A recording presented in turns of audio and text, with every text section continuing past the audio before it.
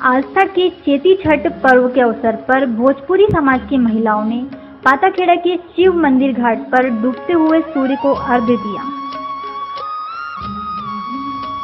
इस चेती छठ पर्व पर उपवास रहने वाली व्रती महिलाओं ने पानी में खड़े रहकर सूर्य भगवान की आराधना की। वही देखा गया तो जहाँ छठ पर्व का उपवास रहने वाली व्रती भगवान सूर्य की आराधना पानी में खड़े रहकर अर्घ्य दिया।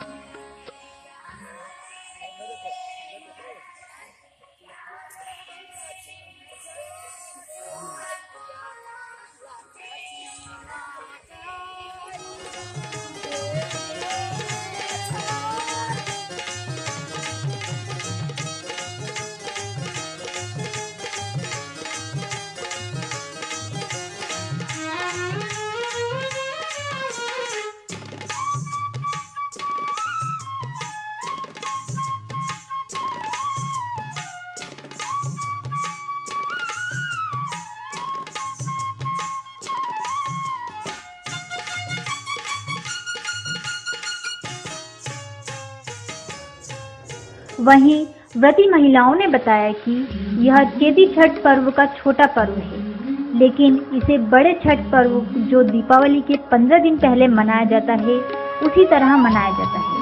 किंतु चेती छठ पूजा गर्मी में होने के कारण इसे बहुत कम लोग मानते हैं।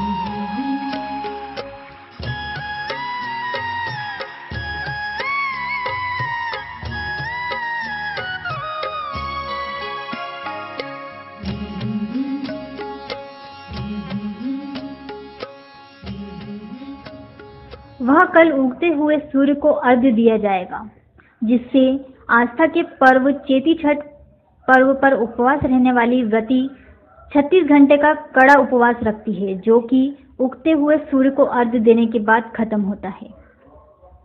पाताखेड़ा से कैलाश पाटिल की रिपोर्ट एस न्यूज़